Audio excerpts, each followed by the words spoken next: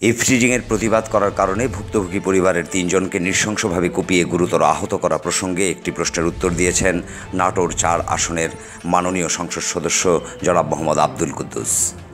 আমার MP dot কমের মাধ্যমে এই প্রশ্নটি করেছেন আলামিন। এমপির কাছ থেকে উত্তর সংগ্রহ করেছেন আমার এমপি ডট কমের অ্যাম্বাসেডর সাকলাইন শুভ ও শাকিল আহমেদ। ভিডিও বার্তার মাধ্যমে এই প্রশ্নের জবাব দিচ্ছেন মাননীয় সংসদ সদস্য জনাব মোহাম্মদ আব্দুল বাড়ি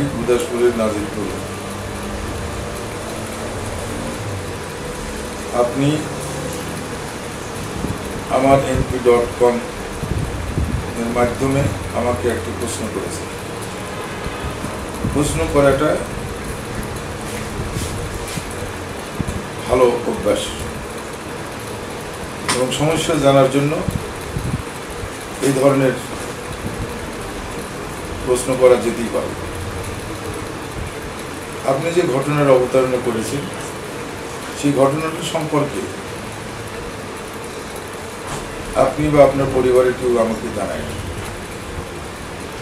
এবং সময় মতো কোনো জিনিস না জানানো হলে যে জিনিস তামাদি হয়ে যায়, সেই জিনিসের উপর কোনো বক্তব্য দেওয়া কষ্টসাধ্য হয়ে দাঁড়ায়। তারপরেও আমি যখন এই ঘটনার কথা জানতে পারি, তাৎক্ষণিক নাজিরপুর হাই স্কুলের প্রধান শিক্ষক পড়ি আমাদের ইউনিয়ন পরিষদের সচিব এবং আর একজন শিক্ষককে দিয়ে তিন সদস্যের একটা কমিটি করি। সেই কমিটিকে নির্দেশ দিই যে আসল ঘটনাটি খুঁজে বের করে আমাকে জানানো এবং সেই ব্যাপারে আমি যারা অন্যায় করেছে তাদের বিরুদ্ধে পুলিশের যদি তৎপরতা না থাকে, তাহলে পুলিশকে সেই বিষয়টি আইনের আওতায় নিয়ে আসার জন্য। আপনারা জানেন যে সারা বাংলাদেশে ইফটিজি বাল্যবিবাহ জঙ্গিবাদের বিরুদ্ধে সরকারের চির টলারেন্স রয়েছে পাশাপাশি মাদকাসক্ত থেকে যেন বিভিন্ন মানুষ, নারী, পুরুষ, ধর্ম, বর্ণের মানুষ যেন মাদকের বিষাক্ত সবলে সমাজকে পুরুষিত করতে না পারে, তার জন্য জিরো টলারেন্স রয়েছে আমাদের। আমরা কেউ চাইব না যে এই ধরনের কোনো ঘটনা বাংলাদেশের কোথাও ঘটুক, বিশেষ করে আমার নির্বাচন এলাকায়। এর যে সামাজিক যে প্রতিক্রিয়া, সেই প্রতিক্রিয়ার শিকার অন্য কেউ হয় না। হয় নিরপরাধ সরকার এবং নিরপরাধ সরকারের অনুসারীরা। আপনি নিশ্চয়ই জানেন যে আপনার যে ছেলেটিকে নিয়ে আপনার ভাতিজির কথা বলেছেন, অনেকে প্রশ্ন করেছে যে এই ছেলেটি কেন? এই মেয়েটিকে ইউটিউজ করতে হয় এই প্রশ্নের জবাব কিন্তু আমরা পাই এবং হেডমাস্টার সাহেব আমাদেরকে বলেছে যে এই মেয়েটি কোনো আত্মীয়, বিশেষ করে পিতা, কোনো অভিযোগ করেনি স্কুল কর্তৃপক্ষের কাছে, বিশেষ করে যে হেডমাস্টারের কাছে যে আমার মেয়েকে অমুক ছেলেটি ইপটিস করেছে। তারপরে এই শব্দটি অত্যন্ত ঘৃণ্য এবং ঘৃণিত সেই জন্য এর প্রতিবাদের সাথে বিচার করা উচিত বলে আমি মনে করি এবং মনেই করি না বিশ্বাস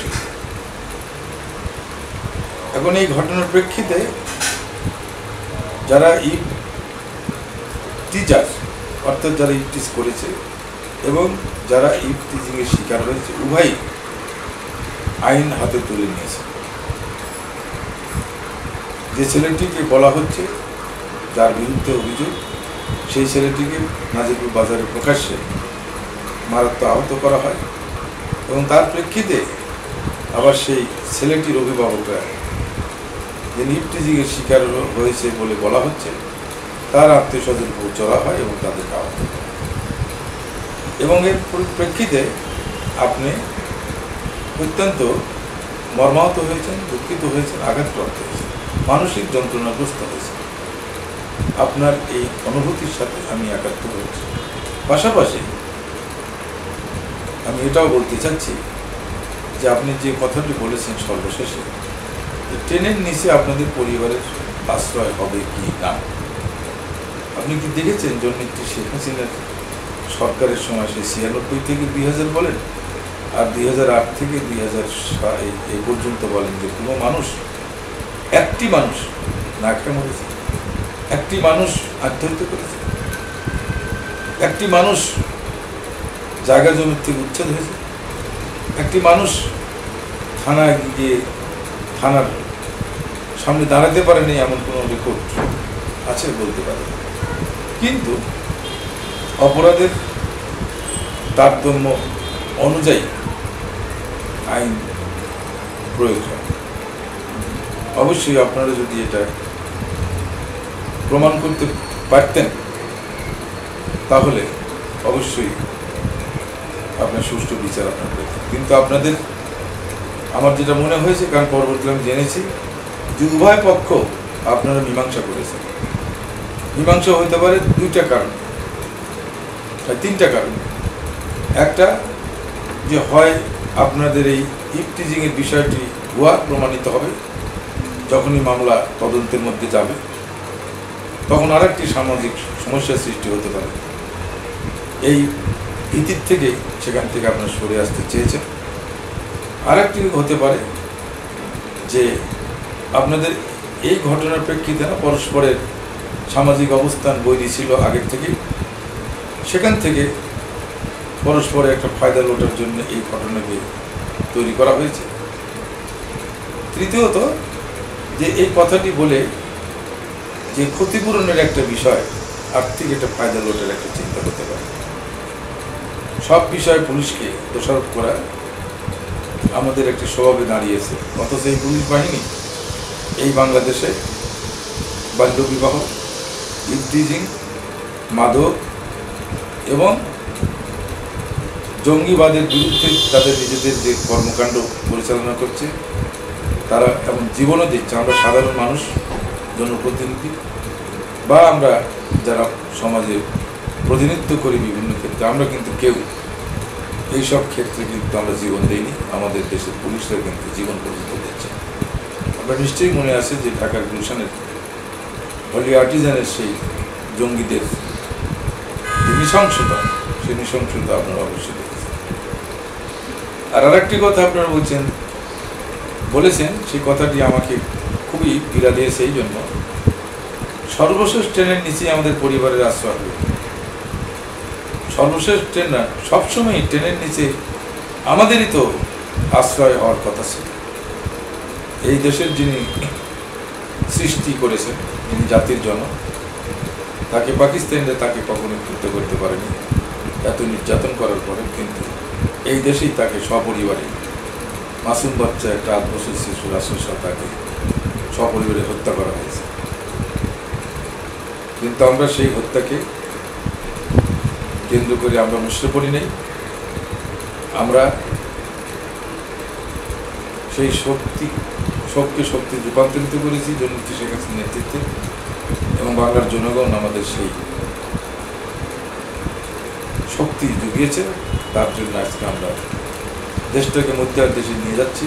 এর মধ্যে আপনি লক্ষ্য করেছেন যে বঙ্গবন্ধু হত্যাকারীদের, একাত্তরের ঘাতকদের দীর্ঘ পঁয়তাল্লিশ বছর পরে হলো তাদের এই সাধারণ আইনে, প্রচলিত আইনে বিচার হয়েছে, বিচারের রায় কার্যকর হয়েছে। মহান মুক্তিযুদ্ধের চেতনার এটাই হচ্ছে বিজয় গৌরব গাথা। এবং সেই বিজয় গৌরব গাথার আমরা অংশীদার। এই দেশের মুক্তিযুদ্ধে আমরা একজন সৈনিক ছিলাম।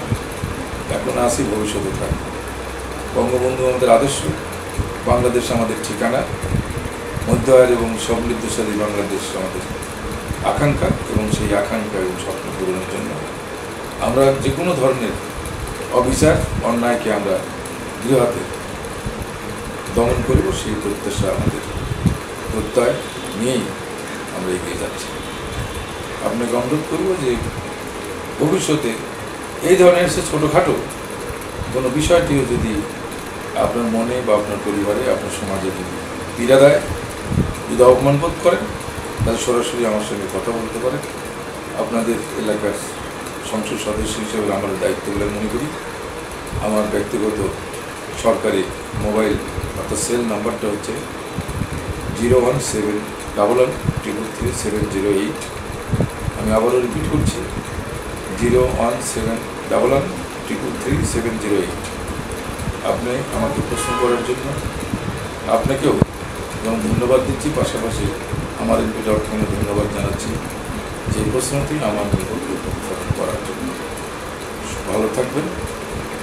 কোনো ভয় নাই ইনশাল্লাহ তবে এই আপনারা মীমাংসা করে নিয়ে জিনিসটা সঠিক করেছেন কিনা ভবিষ্যতে চিন্তা করবেন।